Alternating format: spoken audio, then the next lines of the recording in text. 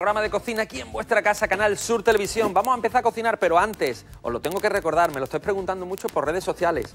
Que sí, que ya está a la venta el segundo libro de Cómetelo, todo con recetas nuevas y recetas variadas, de postre, de plato, eh, de sopa, de arroz, de carne, de pescado, en definitiva, la cocina de Cómetelo, que hoy se centra en un pastel de morcilla y pera. Morcilla concretamente de hígado. Nosotros podemos usar cualquier morcilla, pero hoy vamos a conocer una morcilla de hígado riquísima que encontramos en Coripe, provincia de Sevilla.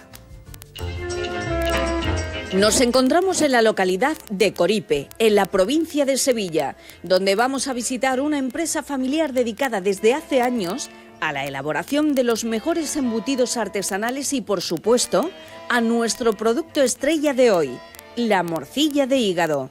Soy Pedro López, de Coripe, llevamos eh, fabricando embutidos 40 años, soy la segunda generación, mi padre es Ángel López, que fue el que fundó la empresa, y nuestro producto estrella es la morcilla de hígado, eh, que fabricamos con productos de primera calidad eh, de los mataderos de aquí de Andalucía. La singular morcilla de hígado es todo un placer para los amantes de este embutido y si bien hay tantas versiones como empresas que las comercializan, el secreto de su excelente sabor está en una sabia mezcla de especias. Ahora mismo estamos preparando los ingredientes principales de la morcilla de hígado, que son la grasa y el hígado de cerdo. ¿vale? Aparte ahora después irán los ingredientes naturales, que son el pimentón, el ajo natural, la sal y una mezcla de especias, que es el secreto nuestro del sabor de la morcilla de hígado.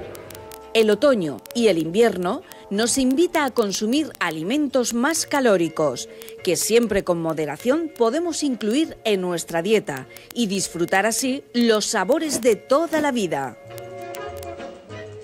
Me quedo con esa frase, sabores de toda la vida, porque el mundo de los embutidos, el mundo de las chacinas, el mundo del jamón, el mundo del cerdo ibérico, es gastronomía andaluza 100%. Es uno de los pilares básicos de nuestra gastronomía. Recordad, la gastronomía andaluza, tres, como tres patas de un banco. Sería el vino, tenemos Jerez, Montilla Moriles, Condado de Huelva, el cerdo ibérico y el aceite de oliva virgen extra. Vemos los ingredientes y empezamos. Morcilla, salchichas frescas, jamón ibérico, una lámina de pasta brisa, pera, ajo, cebolla roja, nata, queso para rallar, tomillo seco y huevos.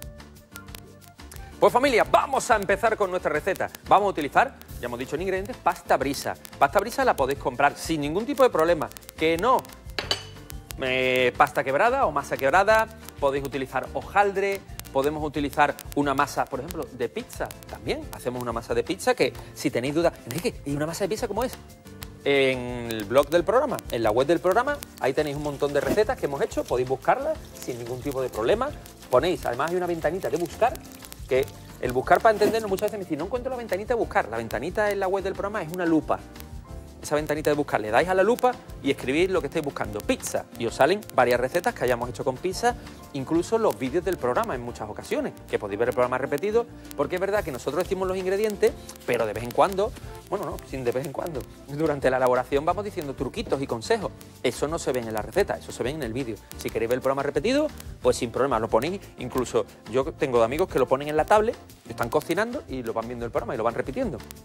Entonces, fíjate, y podéis dar hasta el capotazo de inicio si queréis, eso es totalmente opcional. Y vamos a empezar. Os decía, lo primero que vamos a hacer es la masa. Vamos a preparar la masa que esté un poquito hecha. ¿Por qué tiene que estar hecha? Si ponemos la masa directamente y aquí, le ponemos todo encima, la humedad del huevo, la humedad de la nata, al final lo que acaba es humedeciendo la masa y se parte. Para que la masa se mantenga firme hay que tostarla un poquito antes, en definitiva, hornearla. Vamos a coger cubrir un molde de estos circulares que son muy cómodos para desmoldar después con papel vegetal. Vamos a cubrirlo. Vamos a coger dos. Vamos a cortar dos papeles. Esto es papel de este de horno de toda la vida. Uno y dos. El segundo es opcional, pero a mí me gusta ponerlo por la técnica famosa que todos los que os guste la repostería o hayáis hecho de vez en cuando algunas tartas con masa lo sabréis que es los garbancitos que vamos a poner para que no suba. Este papel, primero, a mí me gusta ponerlo siempre por seguridad. Este que es un poquito más grande, que es el primero que he cortado, este. Porque así me aseguro de que el molde no se le sale nada, sobre todo cuando vamos a poner líquidos. Abrimos, ¿veis? Aprieto y ya cierro. Si tenéis moldes en casa de este tipo, estos moldes muchas veces es normal, con el tiempo van perdiendo presión, cogen un poquito de holgura y lo que ocurre es que si hacéis algo muy sólido no pasa nada, pero si echáis un líquido dentro, a veces se escapa. Pues de esa forma le damos o le devolvemos la presión que ha perdido. Porque la falta de presión en muchas ocasiones molesta, sobre todo en la ducha. Qué coraje me da, qué coraje me da cuando te vas a duchar y abre la ducha y de repente es curioso porque el ser humano hombre, que tampoco es que seamos muy chicos, trata de meterse debajo de un chorrito así. Entonces tú te intentas meter dentro para que, sobre todo ahora en invierno que hace un frío. Bueno, que no me enrollo. Hemos puesto el papel, vamos a coger la masa, la abrimos sin problema, este papel ya fuera, lo podemos también usar, ¿eh? Pero este papel lo dejamos y ponemos la masa encima. La masa no queremos hacer, a mí siempre que digo estas cosas, queremos hacer un plato en casa, casero. Yo no busco la perfección, yo no busco que esto quede milimétrico, no busco ahora cortarlo para que todo sea igual, no, no. Lo que quiero es que precisamente cuando lo pongo en la mesa se vea ese toque casero. Es decir, ¿veis? Arruguitas, arruguitas, bienvenida sea. Aprieto un poco para los lados, para que tenga altura. Aprieto y no me importa en absoluto. Una arruga, pues una arruga, que no pasa nada, que es cocina que es una masa de pan. Nunca buscamos un pan perfecto, cuadrado. Encima de la masa pongo el papel para no poner los garbanzos directamente encima. Pongo un poquito de papel y pongo los garbanzos encima. Garbanzos que podemos utilizar no para guisar, sino los dejamos para repostería y podemos seguir usándolo de una vez. Entonces, le ponemos los, los garbanzos. Esto vamos a evitar que suba. Así lo podréis hacer. Ahora, os decía que podemos hacer truquitos que os ayudan y hacen la vida en la cocina más fácil. Si esto que lo tenéis así, tal cual, antes de poner el papel, os cogéis, fijaros qué cosa más sencilla, un tenedor y con las púas de así, ya os va a subir mucho menos. Porque lo que queremos es que no suba mucho la masa, que sea como un plato. En muchas ocasiones, ¿qué se hace? O se hace solo esto, o se hace solo lo de los garbanzos. Pues hacemos las dos cosas y mejor que mejor. Pim, pim, pim, pim, pim, pim, pim, pim, pim, pim, pim, pim, pim, pim, pim, pim, pim, pim, pim, pim. Y le volvemos a poner, ya está, que es lo que os decía. Y hacemos los dos trucos en uno. Extendemos para que se queden bien repartidos por los bordes. El peso de los garbanzos hace que no suba tanto la masa y si sube un poco después también la podéis aplastar con la mano. Horno a 200 grados, ya precalentado, lo ponemos y aproximadamente vamos a tener la masa unos 10 minutos. Dependiendo del horno, entre 10 y 15 minutos. A partir de los 10 minutos ya podemos sacarla. Si queréis la masa más crujientita, un poquito más hecha, pues lo dejáis 15 minutos y lo sacamos. Mientras tanto, vamos a empezar con el relleno de la, del pastel. Pastel que eh, en muchas ocasiones en la cocina francesa, por ejemplo, se llama quiche. Pues nosotros estamos haciendo una quiche de morcilla, vamos a Andalucía, un pastel de morcilla. Cogemos salchichas, peras, vamos a ponerle salchichas, peras, cebolla, ajo, también lleva jamón y hemos visto que le vamos a poner allí morcilla, que es el ingrediente fundamental, pero no la pongo al principio, porque si pongo la morcilla al principio, la morcilla de hígado tiene mucha grasa y lo único que consigo es que prácticamente se deshaga. Y al final yo lo que quiero es que la morcilla también tenga su textura, teniendo en cuenta que es que además después la vamos a meter en el horno. Por lo tanto no vamos a cocinarla mucho. Ponemos chorrito de virgen extra, salchichas frescas. Mira, mira, mira, mira, qué cosa más bonita. Pues en lugar de cortar de una en una, hacéis así, por ejemplo, hacemos así y hacemos así, las ponemos todas juntas y vamos cortando. Se van a deshacer, ¿eh? Por eso son frescas. Si, si no pondríamos salchicha... Bueno, realmente sabéis que la salchicha en sí no es más que una emulsión de carne. Por eso queda una carne que se tritura, se cuaja y se mete dentro de una tripa. La salchicha, la que le damos a los niños, por entendernos. A mí particularmente estas me gustan más. Son salchichas de que yo veo la carne, veo la grasita, veo el tocinito. Pues directamente vamos a ir añadiendo con cuidado. Ahí. A ver, pito, pito, gorgorito. Espátula, vente conmigo. Y le vamos dando, que se vaya haciendo. Que vaya tranquilamente soltando un poquito de alegría.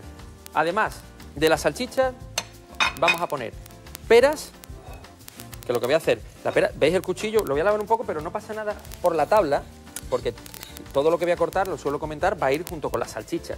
No es que voy a hacer una ensalada ahora por, una, por otra parte, no, no, todo va a ir junto. Entonces no hace falta darle un lavado maravilloso cuando todo va a ir al mismo sitio. Pero las peras, vamos a pelarlas. No hace falta pelarla entera, perfecta, pero sí darle un, un toquecito para quitarle un poquito de piel. Vamos aquí, ya las salchichas están diciendo, aquí estamos nosotras. Cómo suena y cómo huelen, ¿eh? Peras, con dos peras es suficiente. Muchas veces tened cuidado, porque si hacéis mucho relleno, después a lo mejor no cabe. Y si no cabe el relleno, entonces, oh, cuidado, problema, problema ninguno. El relleno no cabe, pues cogemos un poquito más de masa, lo guardamos el relleno, cuando sale el pastel del horno hacemos otro pastel más chiquitito, o rellenamos, por ejemplo, unos pimientos de piquillo, o, o no sé, o lo ponemos sin, sin ningún tipo de masa abajo y hacemos como una especie de flan. Que siempre aprovechando las cosas. Vámonos, movemos aquí un poco.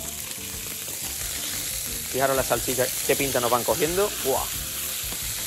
Bueno, pues vamos a echar. Hay que dejar que se rehogue bien porque al echar la pera, la pera tiene agua. Y nada más que echemos la pera, le va a cortar un poco la cocción. Entonces cortamos alrededor del corazón, aquí y aquí. Le quito esta parte, esta parte de aquí, aquí está poquito de corazón que ha entrado aquí, se lo vamos a quitar también. Y lo vamos a trocear no muy pequeña, ¿eh? Por ejemplo, esta que tengo aquí, le doy un cortecito por la mitad, por la mitad, prácticamente mitad y mitad le damos. Ahí, que no quede nada, esto fuera. Y esto igual, le damos unos cortes aquí. Le estamos dando tiempo mientras cortamos la pera, insisto, a nuestra querida salchichita fresca. Y ahora ya, nada más añadirla, pues la humedad de la salchicha corta un poco la cocción. Le baja la temperatura y nos ayuda a que tampoco la salchicha se queme. Esto aquí, venga. La combinación de carne de cerdo con fruta, exquisita. La combinación de morcilla con manzana, con pera, con fruta, también riquísima. Yo me acuerdo hace tiempo tuve la suerte de probar un bocadillo que me prepararon en un sitio que era un bocadillo de morcilla, manzana asada, de verdad, ¿eh? Y lo dice uno y dice, manzana asada. Era un, como un montadito de morcilla con manzana asada y le ponían como una alioli, una especie de alioli, un poquito de alioli con, que llevaba maíz. Y los quicos, el maíz este crujiente también. Oye, estaba rico. Estas cosas que te la dicen de así de boquilla y dices tú, oh, fu, eso, eso se lo va a comer el guardia de la campana. Pero no, no.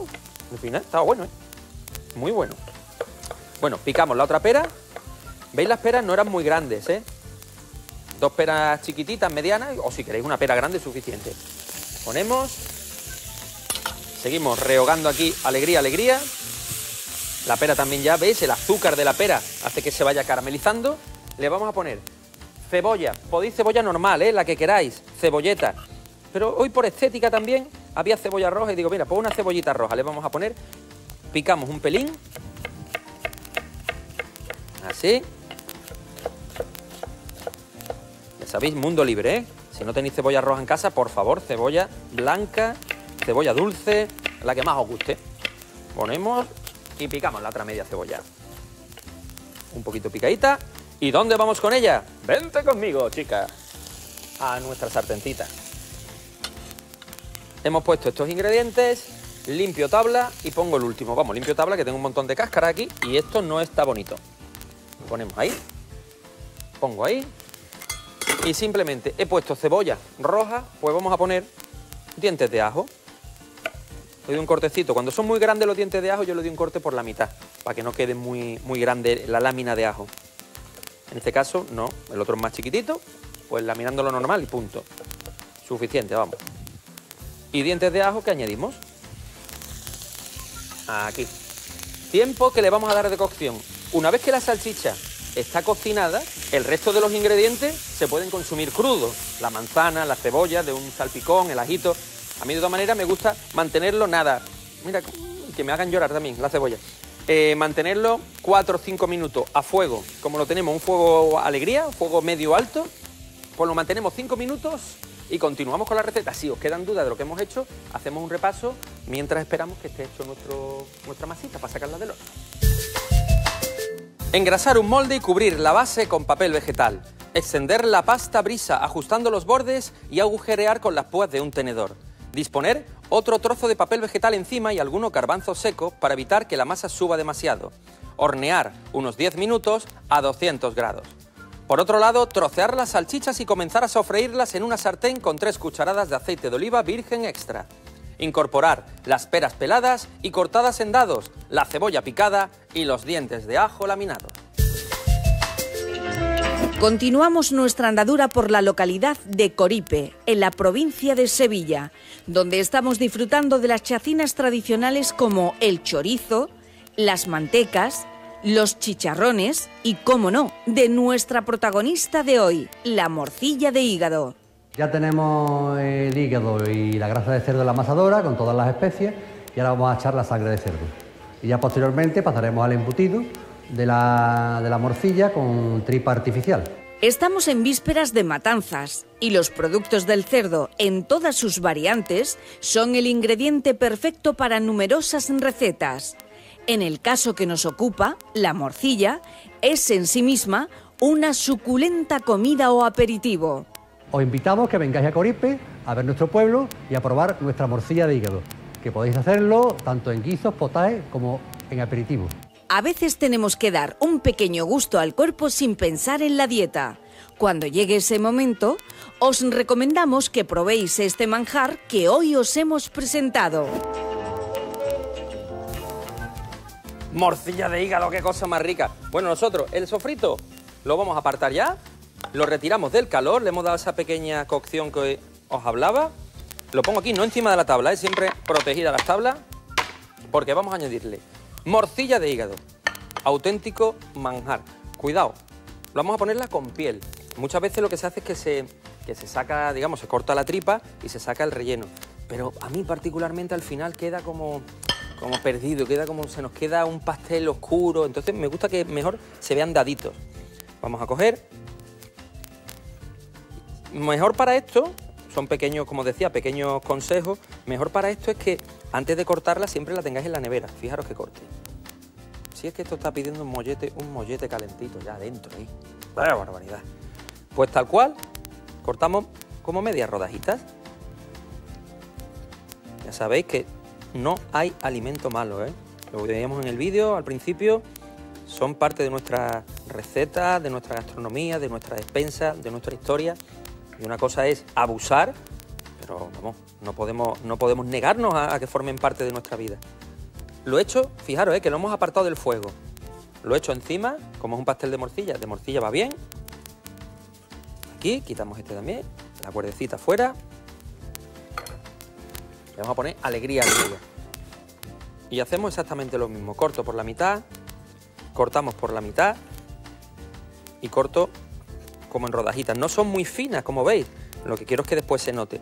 Importantísimo. A quien no le guste la morcilla, que antes hablábamos que, hombre, que lo recomendable es no, no descartar ningún ingrediente por, por pensar que puede ser malo. Pero ya el libro de gusto es otra cosa. Al que no le guste por sabor, alternativas las que quiera. En lugar de morcilla, no sé, podéis poner verdura, es que la, la que queráis. Podéis poner calabacín, podéis poner jamón de york, podéis poner mil historias. Cortamos aquí también. ¿Cómo huele? De verdad, ¿eh? Mm, y si la pruebo pasar, la probamos. Esto está. Con permiso, ¿eh? Solo, un pellizquito solo. Es que hasta ahora ya estas cosas. ¿eh? ¿Eh? Mm. Lo que necesitas es pan. Para acompañarla. Por eso no te voy a ofrecer, Amador. Me hace falta pan. Y ahora vamos a coger y ya le metemos alegría. Fijaros, jamón. Ponemos todo el jamón aquí. Hermandad del gurruñito. Y le damos unos cortes. Tal cual, moviendo el cuchillo para que se corte bien. Aquí, aquí, aquí y aquí. Si queréis en el otro sentido, movemos un poquito el jamón. Le damos otros cortecitos, pero fácil, ¿eh? Que no se diga que esto no tiene alimento, ¿eh? ¡Qué barbaridad! ¿Cómo va a estar esto? Ponemos ahí, pongo ahí y ponemos ahí. No mezclo todavía, ¿eh? No mezclo. Extiendo un poco. Esto está, por favor, qué pinta tiene esto. Ahí lo tenemos. Voy a limpiar un momento. Cuchillo, limpio tabla. Porque vamos a seguir con nuestra receta. Os estaba diciendo, es verdad que, que la cocina es un mundo libre, que tiene mil no mil, yo qué sé, muchísimas alternativas. Fijaros que la cocina tiene tantas alternativas que la música que tiene menos notas, o sea, menos, hay menos notas musicales que ingredientes y nunca se acaba. O sea, todos los años sale música nueva y música nueva. Y la cocina que tenemos muchísimos ingredientes, tenemos unas posibilidades infinitas. De hecho, yo en esta receta, por ejemplo, hay un ingrediente que no me importaría añadirlo. Antes os decía, en lugar de la morcilla, pues en lugar de la morcilla, pollo, fácil de encontrar, económico, sano y si hablamos del mejor de los pollos, no cuento nada. Hoy os voy a dar ideas de menús para comer fuera de casa, pero como si estuviéramos en casa. Cada vez se ha puesto más de moda llevarse la comida a los trabajos y a las oficinas. Aquí en la tele hay muchos compañeros que hacen lo mismo y de hecho me preguntan, Enrique, ¿qué puedo hacer para comer mañana? Pero cuidado, que sea cómodo de preparar y rico. Pues con pollo se pueden hacer maravillas y más si es un buen pollo como pollo real de Sada. Desde una exquisita ensalada de pollo hasta unas crujientes pechugas de pollo real de Sada, pasando por pollo en salsa, croquetas de pollo, no me cansaré de decirlo es muy importante la elección de ingredientes de calidad para cocinar un buen plato. Mirad, por ejemplo, qué frescura tienen estas piezas de pollo real de Sada.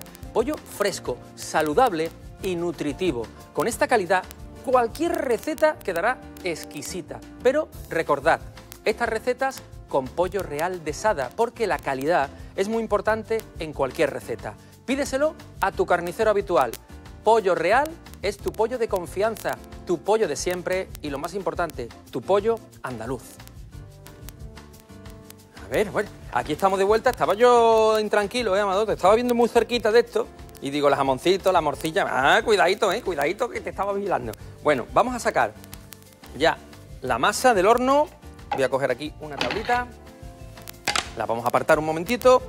Ya le hemos dado ese primer golpe para que suba poco los lados se van tostando, lo dejamos aquí que repose, nada, un momentito, no hace falta que repose mucho. Después retiraremos los garbanzos. ¿Veis? Ya ha sufrido ese primer golpe de cocción. Ya la masa no va a ser tan, digamos, tan permeable. Se va a quedar un poquito más impermeable. Una vez que tengo el sofrito, tengo la masa, continuamos. Cogemos un cuenco. En ese cuenco vamos a partir, a, partir o a cascar cuatro huevos. Sin la cáscara, por favor, Enrique. Uno, nunca casquéis los, huevos en el mismo recipiente en el que los vais a echar. Eso es por precaución. Dos, tres y cuatro. Ahí, huevo fuera, listo. Como estáis viendo, ingredientes de verdad fáciles, sencillos, que no hay, no hay mucho misterio. Vamos a batir con un huevo, eh, contenedor, ¿eh? No hace falta ni, ni varilla para esto. Bato así un poquillo y aquí, como el huevo está frío, es decir, vamos, no, está caliente, pero el, el, relleno, el sofrito que tengo en la sartén está tibio, por eso lo había apartado, ya lo puedo añadir, lo podemos añadir sin miedo. De esa forma el huevo ya empieza también a cuajarse un poquito. Cogemos una espátula para aprovechar bien. Y entonces añadimos aquí, con la temperatura que tiene todos los elementos, todos los ingredientes que vienen de la sartén, el huevo empieza un poquito ya, como decía, a cuajarse y nos ayuda. A que se, reduzcan los tiempos. ¿Veis? Mezclamos así. Parece que vamos a hacer una tortilla. Tampoco estaría mal, ¿eh? Una tortillita de morcilla. ¡Qué rico! Le ponemos nata, aproximadamente, si veis, Nata, 35% de materia grasa, la nata espesita. Un vaso, este vaso estaba lleno hasta arriba, vamos a poner un vaso normal, ¿vale? Mirad, me quedo con un poquito aquí. O sea, sería un vaso lleno más o menos hasta aquí. No vamos a poner todo, os lo enseño así. Un vaso sería hasta aquí lleno, más o menos. Hasta arriba igual es un poquito más de nata, pero no pasa nada. Hemos puesto la nata, rayamos un pelín de queso, aproximadamente, a mí me gusta usar queso rallado, pero si queréis usar, o sea, rayar queso, pero si queréis usar queso rallado, pues unos 100 gramos. Los sobres de queso rallado que suelen vender en los supermercados creo que son de 200 gramos. Pues medio sobre, más o menos. ¿Que os gusta mucho el queso? El sobre entero. ¿Que el queso queréis que sea un complemento, no mucho? Pues un cuarto de sobre, 50 gramos. Como queráis.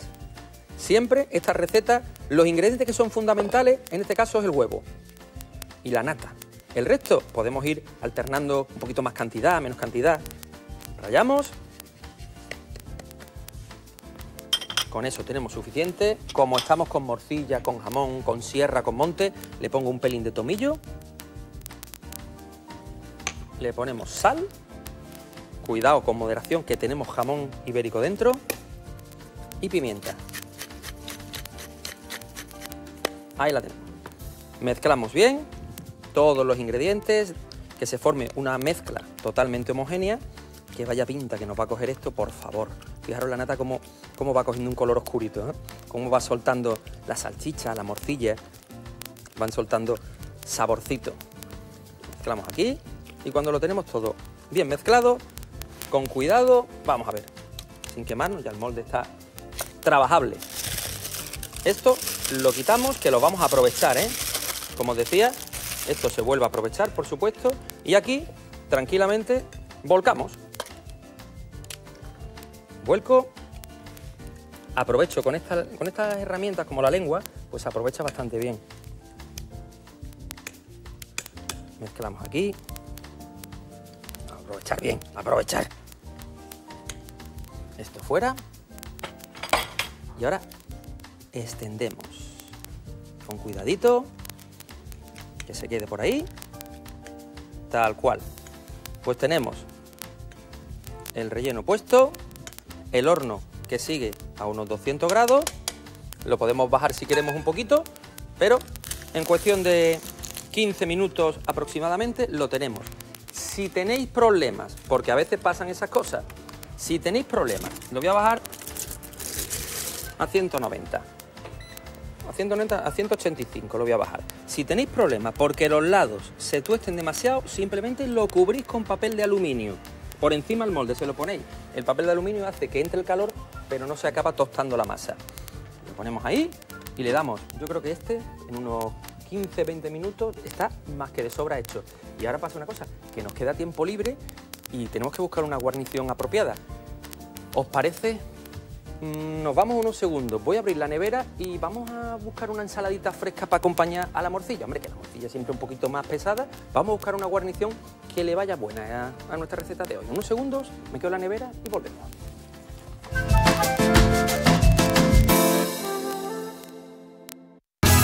Volvemos en dos minutos.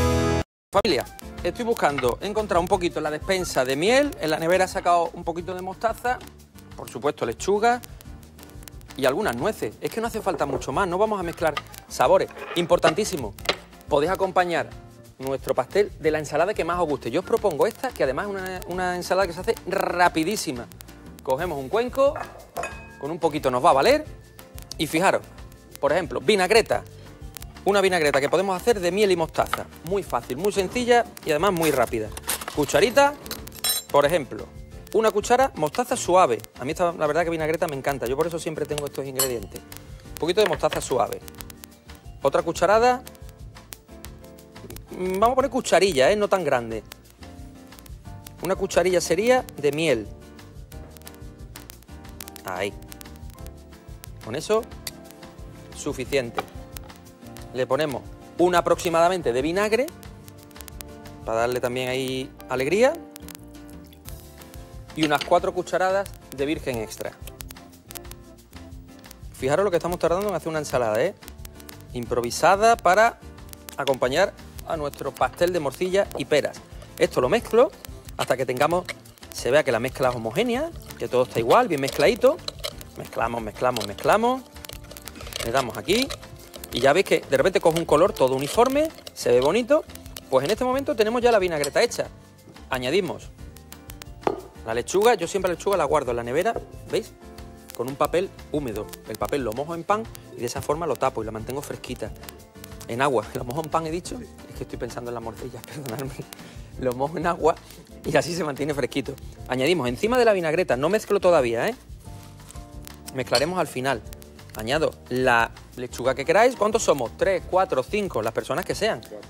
Cuatro. Pues ponemos para cuatro aproximadamente, como es guarnición, con eso nos vale. El resto, perfectamente, la vuelvo a tapar y para adentro. Esto es si tenéis lechuga abierta. Cuando la lechuga viene, cuando la compréis, por ejemplo, en bolsa, estas bolsas que venden en los supermercados, esa lechuga viene en una atmósfera ya protegida. Entonces la dejamos en la bolsa, que aguanta más. Cogemos, siempre y cuando no está abierta la bolsa. Si la abrimos ya, le hacemos lo del papel. Mandarinas. Podemos poner naranja, pero de verdad, he abierto la nevera y veo mandarina y digo, pues mandarina. Cogemos, pelamos las mandarinas. Mira que está rica la mandarina, ¿eh? La mandarina solo tiene un pero, cuando tiene muchas semillas. Porque si no, qué rica. Cuando te pillas una buena, una buena mandarina que no tiene semillas, eso es un lujo. La vamos a poner entera, ¿eh? Los gajos. Echamos gajitos de mandarina enteros. Importante es que la vinagreta está abajo. Si la mezclamos ahora, ya la lechuga empezaría a perder un poquito de alegría, de turgencia. Entonces no la mezclamos hasta el último momento, justo antes de servir. Y de esa forma se mantiene muy jugosa la lechuga. Pelamos mandarina, con tres va a haber suficiente, no hace falta poner muchas más. Entre otras cosas porque tenía tres en frigorífico, ¿sabéis? Pero son entre nosotros. Ponemos aquí gajitos. Siempre hay que aprovechar temporada de productos, ¿eh? Por ejemplo, ahora le iría muy bien a esta ensalada un poquito de granada. Un poquito de granada también le va muy bien. Muy fresquita, le daría color, le daría sabor. Pero en lugar de granada, pues si le ponéis granada ya mandarina, no. Sería mucha acidez, mucho cítrico. Tendría por un lado la acidez de la... Porque la granada tiene dulce, pero tiene un toque así de alegría muchas veces. Pues entonces ya sería suficiente. Ponemos aquí. Última mandarina. Y además le vamos a poner un poquito de crujiente que le faltaba. ¿Cómo? Con nueces. Tenemos nueces, echamos unas nuececillas, la parto así un poco con la mano para que se repartan mejor. Y fijaros lo que hemos hecho en un momento. Pensaréis, ¿ya? Ya. Es una ensalada. La protagonista, la estrella principal de la receta, está en el horno. Es el pastel. Él es el actor principal. Entonces las ensaladas tampoco podemos hacer ensaladas que camuflen el sabor principal. Lo que queremos es una ensalada que acompañe. Tenemos el sabor del pastel de morcilla y pera y de repente que venga el amigo, lo coja de la mano y diga vámonos juntos a la mesa. Como decía, no lo mezclo, lo dejo tal cual así y lo llevaríamos a la mesa justo para mezclar y servir. Lo que nos falta, esperar a que nuestro pastel esté hecho, justo cuando lo tengamos en su punto, lo sacamos del horno y a disfrutar de él. Apartar el sofrito del fuego e incorporar la morcilla y el jamón troceados. Batir los huevos en un cuenco y agregar el sofrito, la nata, unos 100 gramos de queso rallado y una pizca de tomillo. Salpimentar, mezclar bien y verter sobre la masa que hemos horneado. Llevar de nuevo al horno a 185 grados durante 30 minutos aproximadamente. Para la ensalada, disponer en un cuenco una cucharada de mostaza, una cucharilla de miel, una de vinagre, cuatro cucharadas de virgen extra, sal y pimienta. Mezclar bien, añadir la lechuga, los gajos de las mandarinas y algunas nueces. Pues familia, la ensalada justo antes de servir, como decíamos, ya podemos mezclar para que la vinagreta se integre bien con los ingredientes. Recordáis miel y mostaza que le hemos puesto abajo. Vamos mezclando tranquilamente. Una ensaladita verde con ese toquecito que le pusimos de mandarina, crujiente nueces. A ver si cae alguna dentro, Enrique. Ponemos así. Hay que, hay que trabajar ordenado para que no me caigan las cosas fuera. Ahí. Es normal, la lechuga vais a ver cómo va a perder un poquito de volumen al mojarse en la vinagreta, pero ahí la tenemos ya. Ya vemos la lechuga impregnada, las nueces, la mandarina, ensaladita lista, mezclada, hermandad del bolquete con mucho cuidado. Hacemos hermandad del bolquete. Normalmente en los cuencos de ensalada, toda la parte importante, digamos el fundamento, se queda en la base. Por eso yo siempre recomiendo al servir las ensaladas a una ensaladera hacer el bolquete, porque fijaros lo que hay abajo siempre la mandarina, las nueces. Entonces eso después lo que va a quedar encima. Hacemos así. Nos ayuda, digamos, el, el propio, el propio peso, la propia gravedad nos ayuda. Ahí. Ensalada lista. La ponemos allí, sencilla, fácil. Y nos vamos por nuestro pastel de morcilla, que además vais a notar como la morcilla, si lo hacéis con morcilla, por supuesto, tiene grasita, vais a ver cómo empieza a subir la grasita para arriba. ¡Oh! Oh, oh, oh. Mucho cuidado lo que tenemos aquí, ¿eh? Fijaros. Esa grasita que os decía arriba. Que queréis quitarle esa grasa con una servilleta de papel, la ponéis encima. Pero esa grasa, conforme se enfría también, la vuelve a absorber. Importante, cuando lo tenéis en el horno hay dos formas de saber si está hecha. O pinchamos con un palo de brocheta y que salga limpio, o golpeáis. Si golpeáis así, ¿veis? Y el relleno no se mueve como un flan, es señal de que está ya sólido. Pues apartamos, con mucho cuidado, quitar el plato de momento. Es la ventaja de estos moldes, que están calientes, ¿eh? hay que tener cuidado. Ahí. Abrimos A ver qué tal sale. Siempre yo compruebo por si se ha quedado alguna pared agarrada un poco, como es el caso. Aquí. Hacemos así. Perfilamos. Y ahí tenemos, ya, ja, tenemos el pastel. Ventaja de haberlo puesto con el papel vegetal. Si empezamos a cortar ahí, directamente lo que es el propio molde lo rayamos y es una pena. Entonces cogéis y con el propio papel, mira, me vengo aquí, este es lo de la tabla para que no haya cambio de nivel, tiro del papel y me traigo también lo de abajo. Ole mi arte. A ver, ahí, que me traigo lo de abajo también. Hacemos así, eso es lo que yo quería. Esto fuera y lo presentamos si queréis, tal cual con el papel. Enrique, no quiero presentarlo con el papel. Como es papel, con mucho cuidado. De todas maneras, podemos esperar que se enfriara, ¿eh? Voy a esperar que se enfríe porque si intento sacar esto, ahora mismo lo voy a romper. Pues, ¿cómo lo servimos? ¿Se puede servir caliente? Se puede, se puede. Y no está mal. Lo que pasa es que si lo partís ahora mismo en caliente, lo que ocurre es que corremos el peligro que se desmorone un poco, un poquito. Lo ideal, un pastel de este tipo, una quiche, es que se tome un poquito tibia. Incluso más fácil.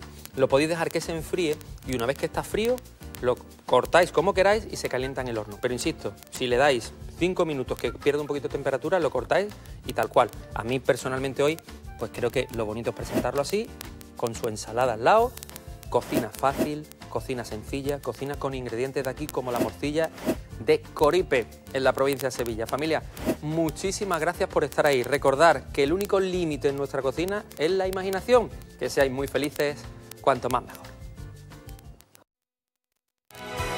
Pollo Real